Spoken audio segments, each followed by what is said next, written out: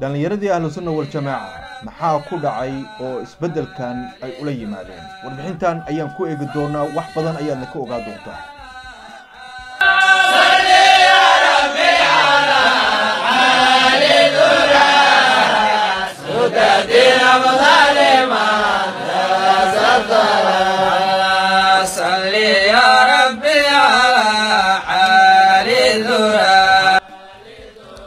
isbeddel aad u weyn ayaa xilligan laga dareemayaa gobollada dalka soomaaliya iyo caasimadda soomaaliya ee muqdisho.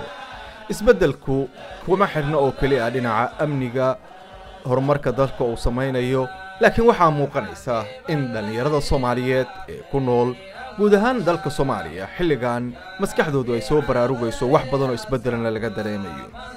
Haddaba maanta waxaan eegi doonaa muuqaalkan aan soo qaadannay. Waa dhallinyaro ahlusunna waljamaaca ka tirsan. Waxa ay dhigayaan muxaadarooyin ay u jeedinayaan dhallinyarada kale ee ahlusunna waljamaaca laakiin waxaa soo jiidashada leh ayaa waxa ay tahay in ahlusunna waljamaaca markii hore ay ahayd in ay si weyn uga soo hor jeedeen oo ay u diidanaayeen in dhallinyarada gabdhaha ah ee ka tirsan ahlusunna waljamaaca ay xirtaan indhashareerka waxaana ay sheegi jireen inay tahay dembi oo aan la oggolayn in gabdhuhu ay xirtaan indhashareerka. Hadda waxaa muuqata arrintaasi in isbeddel uu ku yimid oo ay oggolaadeen in qof walba qaabka uu doono uu u noolaan karo oo uu dhaqmi karo. Waxaa jirtay xilligii ahlusunna waljamaaca ay maamulayeen gobollada dhexe ee dalka soomaaliya in halkaasi ay ka samayn jireen in qof kasta oo ay ku arkaan indhashareerka ay ka tuuri jireen. Waxaa jiray geed loo yaqaano geedka indhashareerka kaasi oo ku yaalay duleedka magaalada burceel ee gobolka galgaduud balse maanta taasi waxaa ku yimid isbeddel weyn. Halkan waa degmada burceel ee gobolka galgaduud waxaa ka soconaya muxaadarooyin ay jeedinayaan. Dhallinyaro ku abtirsata ahlusunna waljamaaca waxaana ay hadda u muxaadaraynayaan wiilal iyo gabdho. Gabdhuhu ay xihan yihiin indhashareer sida idinkaga muuqato muuqaalka. Taasi waxa ay ku timid isbeddelka maskaxeed ee ku yimid dhallinyarada soomaaliyeed ha noqodaan kuwa ahlusunna waljamaaca ama kuwa kale. Waa arrin mudan in la dhiirigeliyo oo ay tahay in shacabka soomaaliyeed ay fahmaan in waxyaabaha lagu kala kaqoqobayo ay ka fogaadaan balse ay u oggolaadaan qofka noloshiisa iyo waxa uu samaynayo inay xor uu u noqdo haddii aysan diinta islaamka ka hor imaanaynin anaa saaxiib ahaan jiranay ilaa saddex sano dhowr bilood markii ilaahay maxadiisa ninkii aniga ayaan saameeyay sababteeda ilaahay dartiisa ilaahay u qoray wuxuu noqday nin ahlu sunna ah ashaaciro ah suufi ah madhabkiisa uu fiqihi uu yahay shaafici. Ku abtirsado. Hadda waanu la joogaa waa fadhiyaa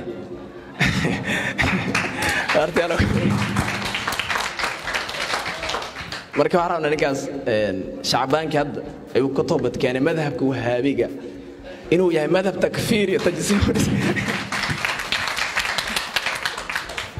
marka wuxuu yidhi waan soo dhaweynaynaa hal kelmad inuu soo jeediyo. Marka mar hore ka toobad keenay laakiin mar labaad in intan dhallinyaro cashaayara hortooda ka caddeeyo ayuu jeclaystay. Macalismaan soo dhow macalismaan cabdi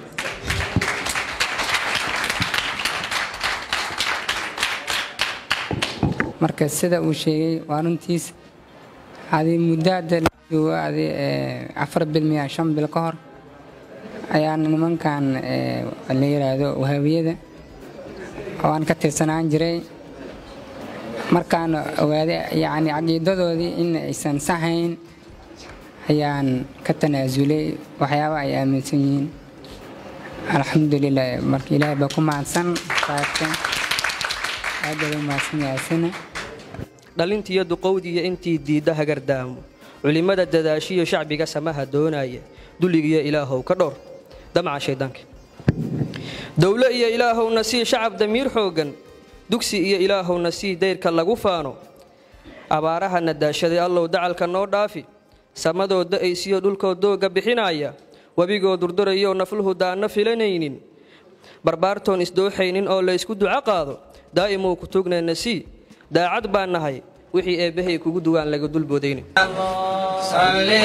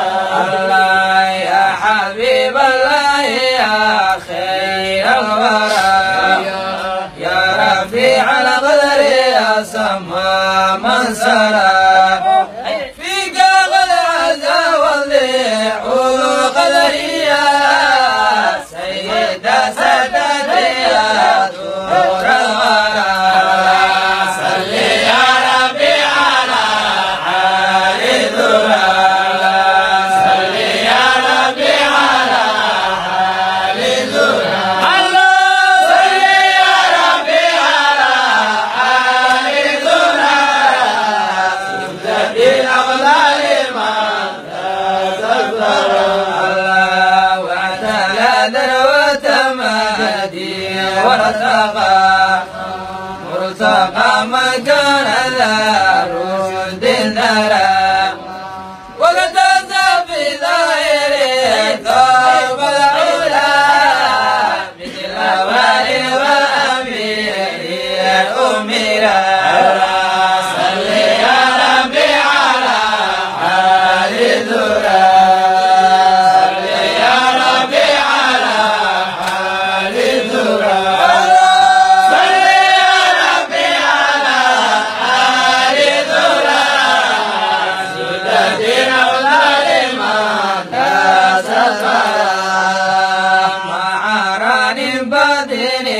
في بدنه واعتداء وغلو واعتداء